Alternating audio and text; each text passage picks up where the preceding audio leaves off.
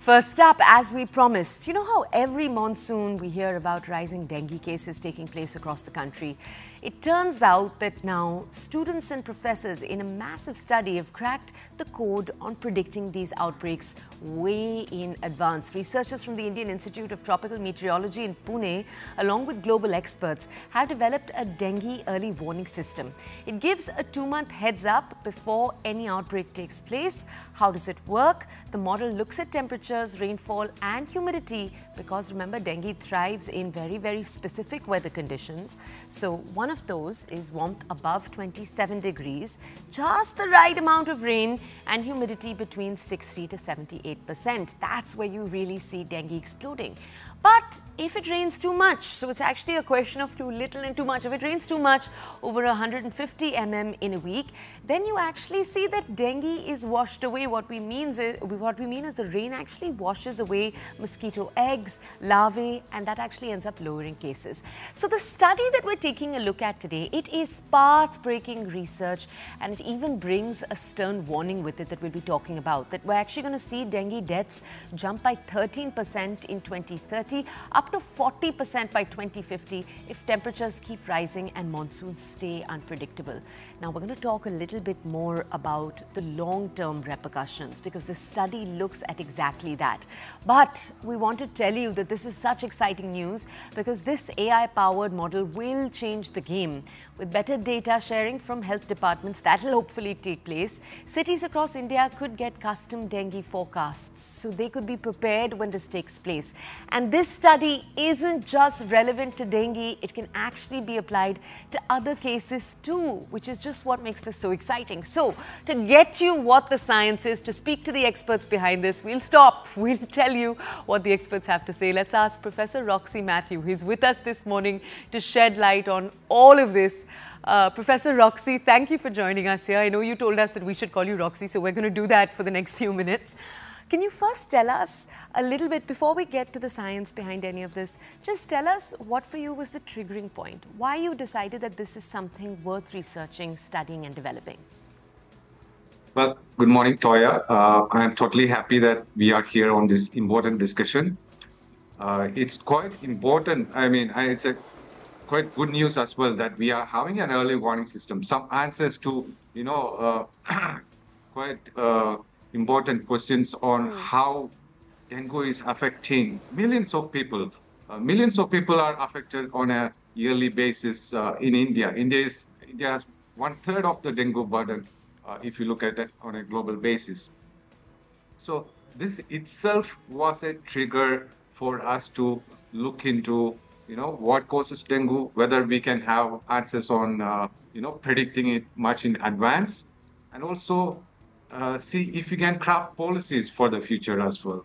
And one of the, uh, I would say, many of my friends, relatives, and uh, even my wife recently got uh, admitted uh, due to dengue case. In fact, she was in um, the hospital for five days. Hmm.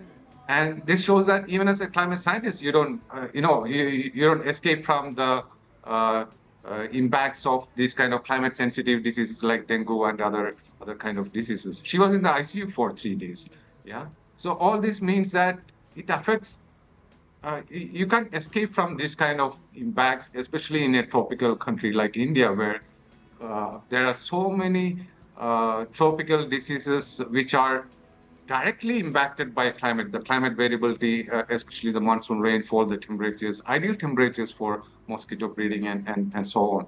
Yeah, so this triggered uh, us to study this, and we found that there aren't much studies because uh, scientists generally work in silos. Mm. Yeah. Mm. Uh, uh, in, in, in the narrow areas of research. So as a climate scientist, generally I work in the climate sphere only.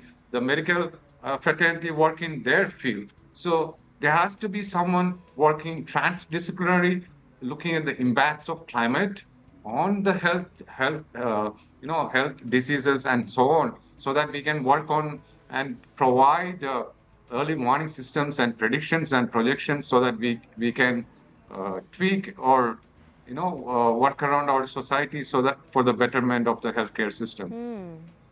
Can we ask you just about how you set up the study in the first place? I know that a lot of data was needed just to track when den dengue was breaking out over the last few years. Was that an easy process? Do institutions share data very easily? Tell us about setting up the experiment first. It's never an easy process. It took us uh, three, four to five years to, you know, uh, get to this stage. Uh, getting the data itself was a tough uh, task.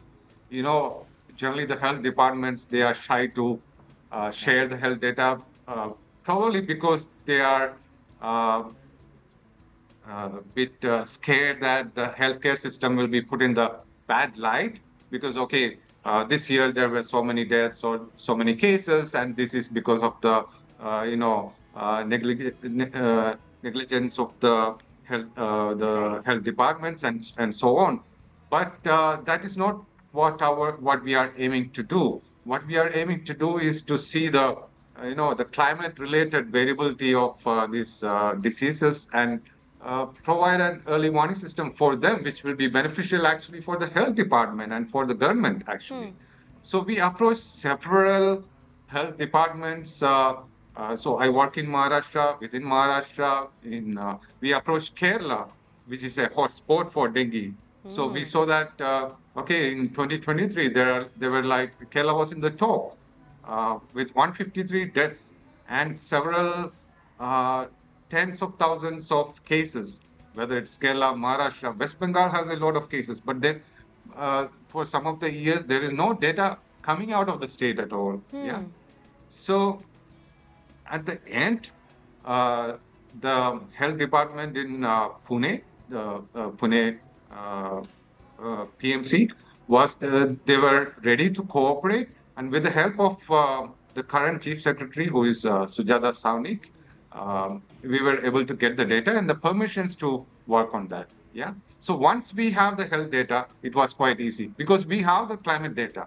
We have the rainfall, the temperature, yeah. the humidity, mm. all those parameters uh, uh, which affect the dengue cycle. And we have that for, you know, on a daily basis since 1900 on a daily basis at a high resolution for any city or any district across India, wow. hmm. which means that we are just waiting for that health data from uh, from another city to you know fit this Make data together. Yeah, yeah, exactly, exactly. And then once we have this, uh, we had a, uh, we tested different uh, uh, machine learning methods or artificial intelligence tools uh, to fit this data because the dependence between uh, these weather parameters and the disease is not linear. There, it's not direct.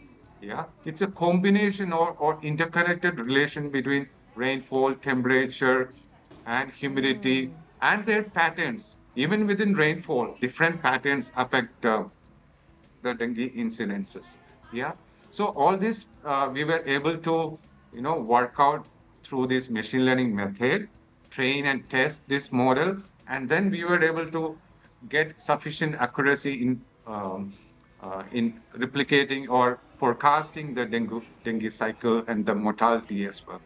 So, uh, Dr. Roxy, if we could ask you, one aspect I was a little confused about was that this yeah. model, as you've said, looks into the future. It can essentially predict for you. But one mm -hmm. of the mm-hmm. tricky things with climate change that we talk about a lot is the fact that climate change means more freak incidents. So in a sense, less predictability of the kind of weather changes, the big patterns you're going to see. Right. So right. then how do you make those predictions, especially over the long term? Well, uh, you are right that the weather is getting more and more chaotic, especially the tropic tropical weather is fast moving, quickly developing weather systems. Hmm. Yeah. But here the model and the forecast uh, depend on the average seasonal cycle. Uh, for example, whether uh, you will in general have uh, moderate rainfall spread through the season ah. or hmm. Uh, more more number of extreme rainfall events or whether the average temperature conditions or the number of days where the temperature is above this conducive conditions. Yeah, and that uh, uh, even in the future we see that uh, we are able to predict that, and uh, we will be able to predict the dengue cycle also based on that. So mm. that's that's not a major issue with this. I thought the coolest thing here, though, was that you've said that it will potentially be applicable to other diseases too. It isn't just dengue. Can you talk a little bit about that? How this can expand, even in different countries, you've said there is a potential to expand this. What would that look yes, like? Yes, yes, yes, yes, yes. So uh, there are many other climate-sensitive diseases like dengue, um, chikungunya, malaria, mm. uh, yellow fever, uh, probably even Zika virus. So many of these are vector-borne diseases uh, spread by mosquitoes and, uh, you know, uh, changes in rainfall cycle and temperature and humidity and all affect the cycle yeah, of these vector-borne diseases. So it's quite possible if we have the data for those diseases, we can do a similar kind of, with the same framework, we can develop early warning system and future projections for these diseases as well. And uh, this is applicable for not just Pune, but across India, where we have uh, monsoonal conditions, or for other countries, nearby countries in South Asia or mm. in the hmm. Indo-Pacific, which is which has a tropical climate similar to India, yeah, where the rainfall uh, variability is like this with monsoonal conditions and temperatures are tropical temperatures above 25, 27 degrees Celsius or 30 degrees Celsius. Hmm. Yeah. In fact, it is it was quite hot in Pune yesterday. Last last night it was hot. Uh, I think we had one of the warmest Januaries in Pune, yeah, ever recorded. Yeah. So this shows that the climatic conditions are changing. They are becoming more conducive for this kind of tropical diseases, mm. and it is high time that we work on this. Yeah, mm. we need we need the entire uh, community to work together, share the data, so that we can make more of these kind of uh, early warning systems, which can save lives. Right. I love, Professor, I have to say, uh, right from the beginning of this interview, your big emphasis is we need to share data. Different departments across the country need to share data to make this possible. So can you just tell us, Professor, how exactly does the system predict? So what we mean when we say that is, if, for example, the city of Pune now adopts the system properly, what will it mean? How specific will the prediction be? Will it say between this day and this day we're going to see a dengue outbreak? Will it say which parts of Pune? Exactly what does the model tell you? So there are multiple uh, provisions uh, if we adopt the model. Uh, one thing is uh, we can predict in advance, yeah, because there is a lag between the weather conditions and how uh, the mosquito larvae develops, and you, you hmm. need to have multiple cycles of mosquito population develop so that there is a uh, enough threshold of uh, or enough number of mosquito population. And then the virus has to develop in the uh, mosquitoes uh, which is called uh, extrinsic incubation. Then it, it has to uh, bite a human. And then there is intrinsic incubation which is inside the humans. So which means that it gives a long period for predicting after, a, for example, a rainfall or temperature conditions are developed. So that gives us about two months advance period, yeah, for a city like Pune. For other regions, it might be different based on the weather, temperature conditions, and the other socio-economic conditions over there as well. Yeah. So this gives us uh, two months advance time to tell for the coming season, upcoming monsoon season. For example, maybe in uh, uh, April, May, we can say by June, July, uh, with the onset of the monsoon, if the dengue uh, cases will be high, whether it will be above a particular percentile, above the 75th percentile or not, or will it be lower, so that uh, uh adequate precautions can be taken, whether it is uh, mosquito uh, fogging or other kind of, you know, removing the water containers from the city and making sure that the mosquito populations are under control. So these kind of precautions can be taken, and also we can map the hotspots within the city as well. Hmm. Yeah, where the dengue cases would be high. So all this is possible with more and more data coming in. And that would essentially mean that if you're able to predict the hotspots, uh, any authorities can already be proactive about the way in which they treat those hotspots, right? Carry out basic exactly. hygiene and sanitary practices. They can divert resources to that those regions. They can divert those resources to those regions instead of the regions where the dengue will, will be low. Yeah. Okay. And uh, can I just ask you, Professor, before we let you go, the next question, we're going to step away from dengue. You talked right in the beginning about the importance of all scientists, researchers, professors to approach whatever they do in an interdisciplinary manner. You said that's why this came about.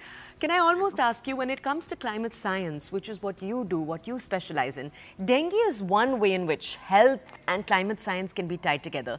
Where are the other ways in which climate science can unlock secrets? If, for example, you were given an endless budget and you could research many, many different interlinking and connections. Yeah, yeah. So, so many examples. Agriculture, for example, the crops. Uh, we saw that, uh, like in 2022 uh, heat wave season, the entire North India was impacted by heat waves, and uh, what we call as compound extreme events are happening. So uh, uh, there is dry season, so and deficit in rainfall due to climate change. On top of that, we have heat waves, and then there is pollution also. So all these factors compounding together and impacting agriculture. So we saw that the grain size were 20% lower in those years, and India had even reduced the import of uh, wheat grains from the country during mm. during that time. Yeah, mm. that's one example. Stock market actually uh, is impacted uh, through agriculture. Mm. One example is impacted by because, uh, and we see that even when during the forecast time itself. So April, May, we have the forecast from the India Meteorological Department on how the next season, monsoon season would be. And depending on that, large scale farmers ready their fields. So depending on if the forecast is good or bad, they will decide how much of uh, area they will cultivate for that uh, for that year, and based on that, they will buy the fertilizers and all. Yeah. So these kind of uh, cascading impacts are there for climate and climate variability and climate change as well.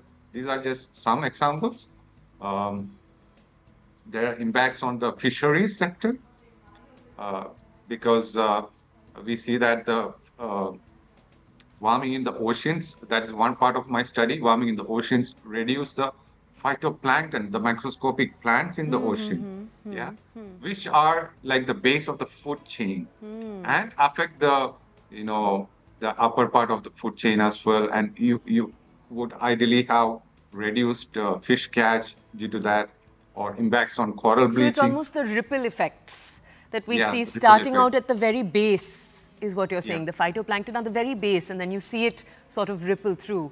Professor, exactly. thank you. Thank you so much for just joining us, for shedding a light on this topic, but also just taking our conversation to so many different other places.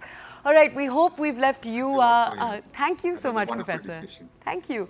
Okay, we'd like to thank you, Professor. We'd also like to thank uh, our audiences just for staying with us through that. It was a slightly meatier topic. We wanted to pull apart the new research that they've done. Now, we're going to head into a quick break.